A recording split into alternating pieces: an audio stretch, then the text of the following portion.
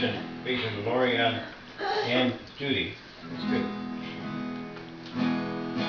This next song, I've been trying for about three months to learn it.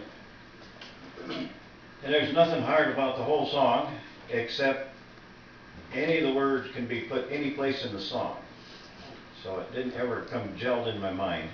And if the words don't appear to be what you remember, don't worry about it.